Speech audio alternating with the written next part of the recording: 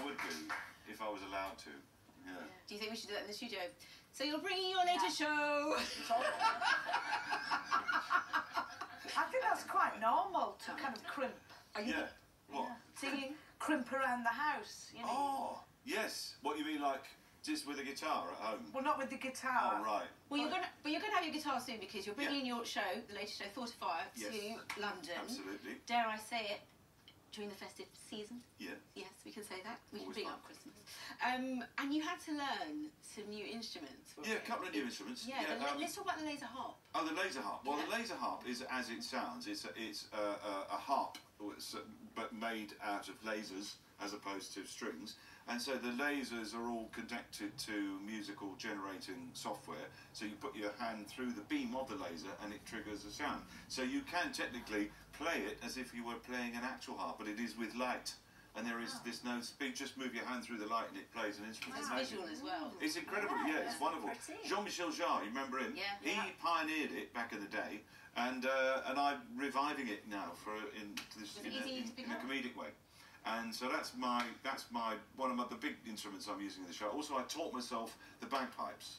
So because I've always wanted to play the bagpipes, I don't know why. I just- Difficult. it's hard. It is tricky, but it's it's very rewarding. Yeah. And uh, you have to practice kind of a long way off. Yeah. You have to, you know. you But nice sound when you get it. Yeah. Um, now, apparently, you met some musicians in Australia Yes. that then influenced some of this show. That's correct. Yeah. Tell us about them then. the That's right. Well, I was making a documentary about Western Australia, and um, part of the, the doco, we, we spent time in a place called Albany, down in the southwestern part of Australia, and there's a group there called the Albany Shantymen, and they sort of went, they sang this song, uh, a, a- sea shanty, uh, and it went viral, and they invited me to perform with them. So um, it was great. It was great fun. And, uh, and so was it like, the song? the songs, it's well, sea shanties. You know, they're kind of like a cappella. Yeah. So you sort of sing these songs. So somebody starts something, goes oh, oh, oh," and then the whole crowd goes oh, oh, what I do in the show. So I've got, I've, I've used a bit of sea shanty sort of So you're mixing things up a bit. New Yeah. instruments, new sounds, which are brilliant. Absolutely, yeah. Let's talk about the memoir um, because wildlife is another passion of yours. It is, Yes. But in the memoir, you talk about the animals you've met over the years and not people. So we wanted to ask about is it Jakob? Jakob, yes. Jakob the cockatoo. Cockatoo. So tell us about. Jakob the cockatoo. Yes. Well, she had an amazing life. I mean, it's a she, and she was a cockatoo that was was caught in the wild in Papua New Guinea, and a couple, a Western couple who happened to be working there, saw her in the, in this village and took pity on her, oh. took her home. Then they, then they, the the, the, the chap was a, he was a pilot, and he got a job with the Sultan of Oman. So she got to live in this palace for a bit, and then they moved back to England. They couldn't work, couldn't live with her anymore. So they couldn't look after her. So we looked after her. So she's had this amazing life. And um, But now she's slumming it in West London. yeah, West London now, yeah, listening to the bagpipes. Yeah.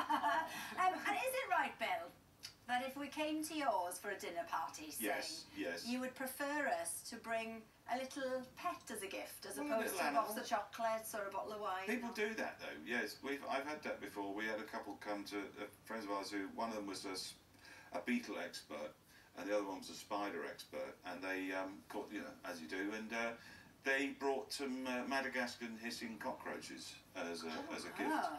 And for most people, that would be the, your worst nightmare. Yeah. And also, most people bring a bottle of wine. So, uh, but it was But it's a talking point. it was a talking Yeah. point, yes. You know. And they were great fun, actually. They did actually hiss. They, they were like, you know, someone trying to get your attention the whole time. And um, they were. still have them? No, we don't. No, sadly not. No, they don't Yeah. live that long, sadly. Um, And uh, they used to live in the not next to the washing machine, and they got into a pair of my trousers once.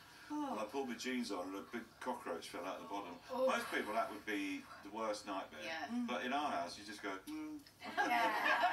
oh. well, Bill's book, My Animals and Other Animals, is out on the 11th of October, and you can see him in Thoughtifire at the Theatre Royal Haymarket in London from the 28th of December. Thank Yes. you, Bill.